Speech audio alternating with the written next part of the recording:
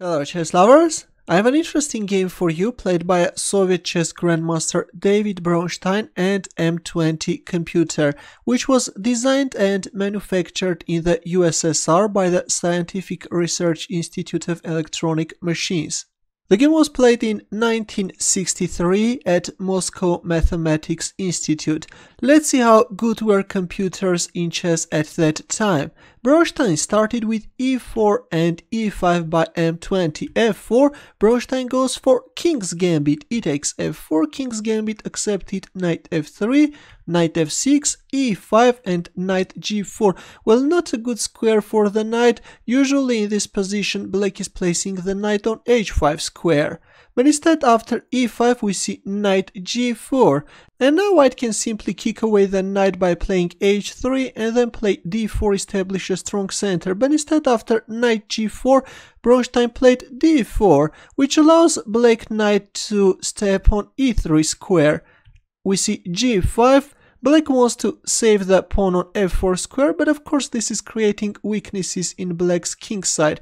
Actually, this g5 is not a good idea in this line, when the knight stands on g4 square, knight c3, knight e3 and queen e2.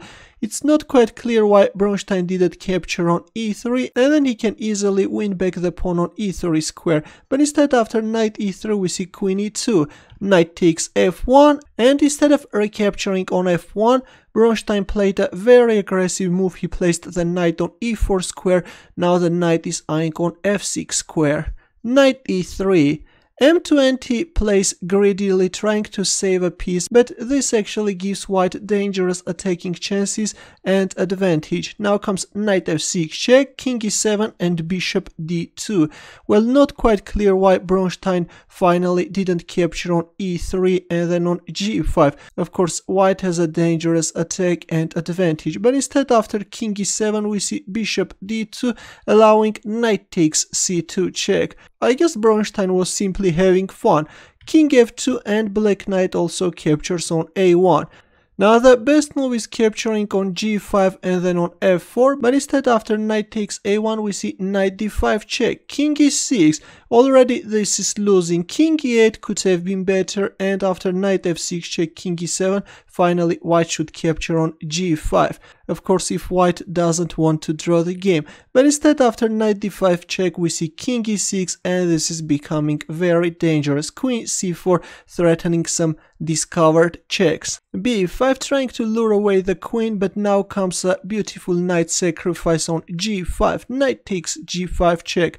Queen takes g5, knight takes c7 check. First white is opening up the c file, king e7, knight d5 check, king e6, and now we see knight takes f4 double check, opening up the bishop's diagonal as well, and after king e7 we see knight d5 check, king e8.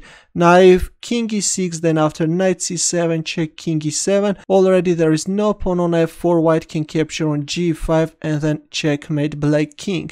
That's why after knight d5 check, m20 played king e8. Here comes queen takes c8 check, queen d8, knight c7 check, king e7, and now comes the bishop, bishop b4 check. d6, bishop takes d6 check, and after queen takes d6, we see this beautiful checkmate on the board. Look at this. As for me, I think that taking into consideration the fact that the game was played in 1963, M20 was doing pretty well. Of course, it will be also very interesting to know your opinion about this encounter and the strength of M20. Thanks for watching and I'm waiting for your comments and questions. Good luck.